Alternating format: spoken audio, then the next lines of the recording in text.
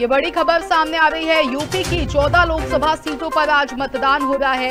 दोपहर एक बजे तक का आंकड़ा सामने आ गया है। कौशाम्बी में छत्तीस दशमलव दो पाँच प्रतिशत मतदान अब तक हुआ है। वहीं गोंडा सीट पर दोपहर एक बजे तक छत्तीस दशमलव छह सात प्रतिशत वोटिंग हो चुकी है। ये बड़ी खबर आपको बता रहे हैं। जालौन सीट पर दोपहर एक बजे तक उनतालीस दशमलव पाँच चार फ़ीसदी मतदान हो चुका है।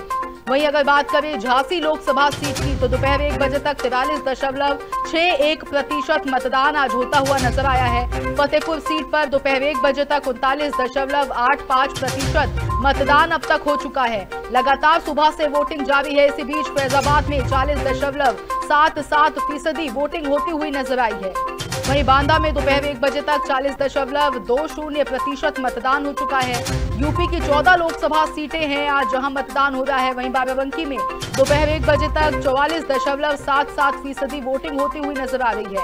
मोहनलालगंज की बात करें तो दोपहर एक बजे तक का आंकड़ा आपके सामने है। इकतालीस दशमलव तीन पाँच प्रतिशत मतदान अब तक हो चुका है। ये बड़ी खबर सामने आ रही है। रायबरेली में दोपहर एक बजे तक उनतालीस दशमलव छह नौ प्रतिशत मतदान अब तक हुआ है। वहीं लखनऊ की अगर बात करें तो दोपहर एक बजे तक का यह आंकड़ा सामने आ गया है। तैतीस दशमलव पाँच शून्य फ़ीसदी मतदान हुआ है। हमीरपुर में दोपहर एक बजे तक का आंकड़ा आपको बता रहे हैं चालीस दशमलव सात एक प्रतिशत मतदान हुआ है।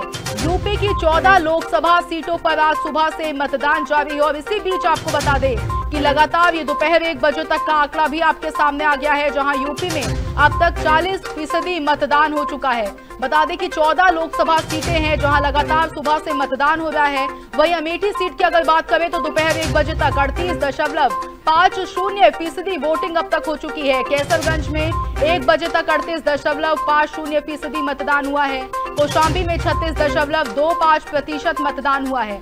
ये बड़ी खबर यूपी से आपको बता रहे हैं, जहाँ लगातार सुबह से ही मतदान जारी है।